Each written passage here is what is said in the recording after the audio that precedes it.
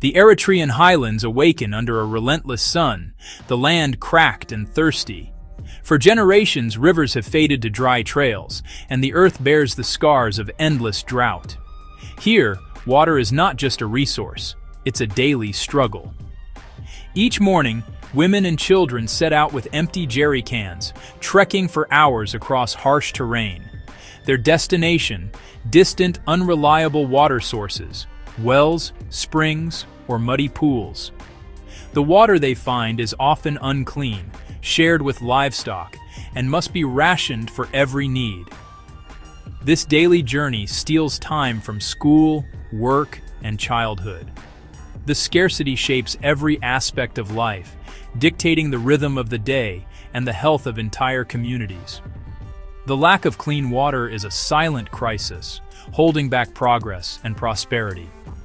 Yet, within this hardship, hope began to grow, a belief that the land could be healed. Eritrea's story is not just about survival, but about the determination to reclaim water and transform the future. The challenge was immense, but so was the resolve. A new vision for water was about to take root. Eritrea sits in one of the world's driest regions, where rainfall is rare and unpredictable. From the Red Sea coast to the central highlands, drought is a constant companion. Rivers like the Barka and Anseba surge briefly during the rains, then vanish for months, leaving dry beds behind. The fleeting abundance of water is a cruel irony. Floods one season, parched earth the next. Capturing this short-lived resource is essential for survival. Groundwater is equally elusive, often deep and difficult to access. Wells must be dug far below the surface, and overuse can quickly deplete these hidden reserves. Agriculture, the backbone of Eritrea's economy, is a gamble against the weather. A failed rainy season means failed harvests and hardship. Waterborne diseases threaten health, and food security is always at risk. This cycle of scarcity shaped the nation's destiny. The newly independent Eritrea faced a monumental question. How to secure water in a land defined by thirst? The answer would require bold action and unity. Eritrea's leaders knew that only a bold, unified approach could break the cycle of water scarcity. They launched a national water strategy, capture every drop of rain. This meant building a vast network of dams, microdams, and reservoirs across the country. Large and small structures were placed to trap runoff during the brief rainy seasons, storing water for the long, dry months. The effort was collective. Communities, farmers, students, and soldiers all joined in, embodying the spirit of Warsai Yikealo. These projects became symbols of ownership and pride, not just government initiatives. Alongside construction, new policies promoted conservation and fair distribution. Water management was integrated with agriculture, health, and education. The strategy was holistic water as the lifeblood connecting all aspects of society.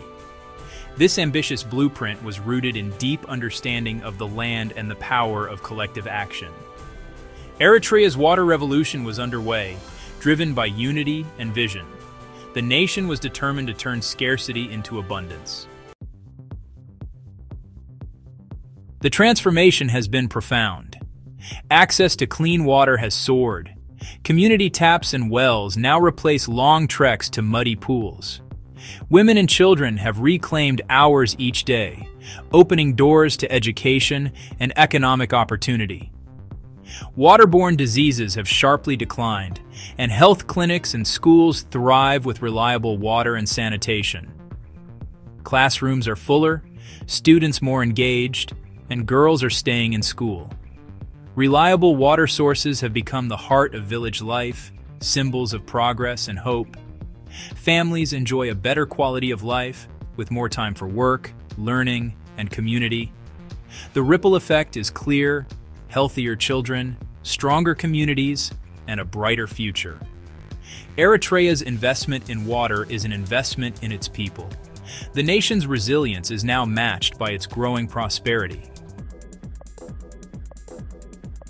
Eritrea's water revolution is built on innovation as much as infrastructure. Micro dams and check dams slow rainwater, prevent erosion, and recharge underground aquifers. Farmers have embraced drip irrigation, delivering water directly to roots and boosting crop yields. Once barren fields now flourish with vegetables, fruits, and grains. Upgraded pipelines and solar-powered pumps ensure efficient, sustainable water delivery. Every drop is used wisely, supporting homes, farms, and local industries. Community training in soil and water conservation, like terracing and contour plowing, complements large-scale projects. This layered approach blends modern engineering with traditional knowledge. Eritrea's land is becoming greener, more resilient, and more productive. The journey from drought to abundance is powered by both technology and community spirit. The journey is far from over. Groundwater remains under pressure, especially during droughts, and some wells still run dry. Water quality is an ongoing battle. Contamination from agriculture and poor sanitation threatens supplies. Continuous monitoring and public education are vital to keep water safe. Maintaining hundreds of dams and pipelines requires constant investment and vigilance. Siltation reduces reservoir capacity, demanding regular upkeep. Climate change brings new uncertainty, with more frequent droughts and erratic rainfall. Eritrea must keep adapting, innovating, and building resilience. The foundation is strong, but the future demands relentless effort. The fight for water security is a never-ending journey. Eritrea's water revolution offers lessons for the world.